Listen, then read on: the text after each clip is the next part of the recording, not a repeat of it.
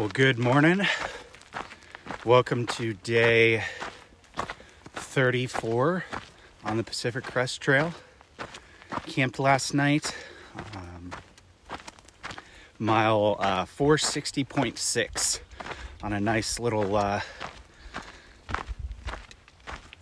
ridge on a hillside overlooking uh, Santa Clarita and a couple other towns. So I was able to see the lights real clear last night. And uh, it was just a really, really pleasant evening. It was cowboy camping. And uh, just uh, got in after dark.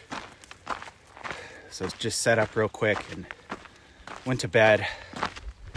Planned to get up uh, real early this morning to uh, get hiking before the heat of the day, but that plan didn't quite go as planned. Still uh, got got started at like 5:45, but would have liked to have been started about an hour earlier because it is just hot. Yesterday was hot. Did uh, 10 miles out of the uh, Acton KOA in the morning. Got started a little late, a little after 8:30, and had about 10 miles to uh, Agua Dulce, but uh, it was just by by nine o'clock. That that stretch was totally uh, totally barren and uh, no shade, and a good chunk of it is uh, the road walk into the town and it was it was just hot. It was miserable. Got into town, grabbed some pizza, sat in the shade for a couple hours, and then hiked back out. Um, really, in what was still the heat of the afternoon, left about four. There was just a you know doable like two mile road walk, which is the trail. So this part of the road walk is actually the trail. The road walk I did before and the road walk I'm going to do tomorrow are um, just uh, adjustments around uh, fire closures from last year. And so I'm doing the road walks, uh, these fire closure road walks, to uh, just sort of keep a continuous footpath going on this travel. Um, but uh, the road walk yesterday was actually what the trail is considered. And so, um,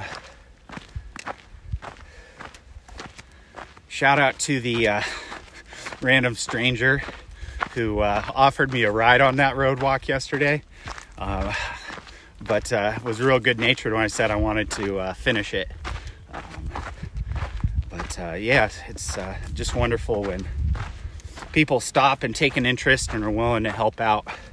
Um, even just uh, total strangers on a drive from somewhere.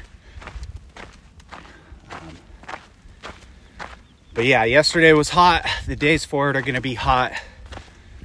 Getting uh, into uh, real sort of lowland desert hiking a little bit, and uh, kind of gonna have to start earlier and hike uh, hike later, and uh, kind of did that last night and then today, but because uh, it is just going to be scorchers and uh, there's no shade in the middle of the day, and it just uh, the water carries it along, and just saps your strength and saps your hydration. So